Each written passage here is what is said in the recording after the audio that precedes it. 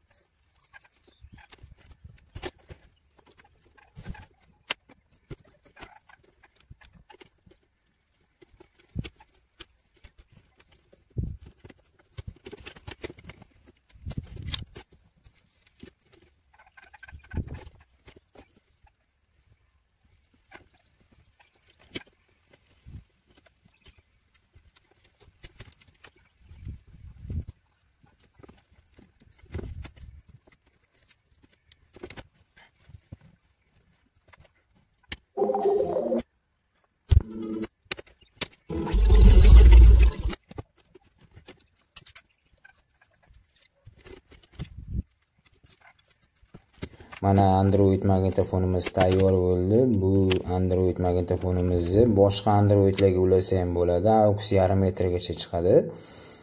Ishlashiga keladigan bo'lsak oddiy magnitofon bilan bir xil ishlaydi.